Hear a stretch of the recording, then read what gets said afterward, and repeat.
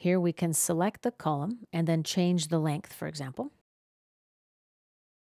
Click Finish. Let's make our sketch visible now. Right-click on Sketch 2, select Visibility. And let's activate the Punch tool again.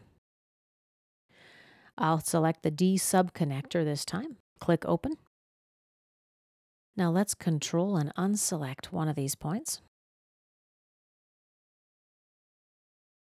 Here we basically got the same options. Change size, angle, and so on. Let's finish.